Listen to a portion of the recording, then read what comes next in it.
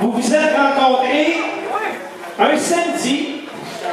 Un, un samedi. Ils se sont rencontrés parce que lui, il s'en allait vendre euh, à l'enquête des veaux. Il l'a vu là.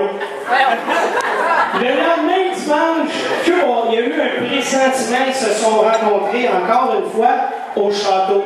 On est là. Et en 77, ils se sont mariés. Donc, il y a 39 ans, un 10 septembre.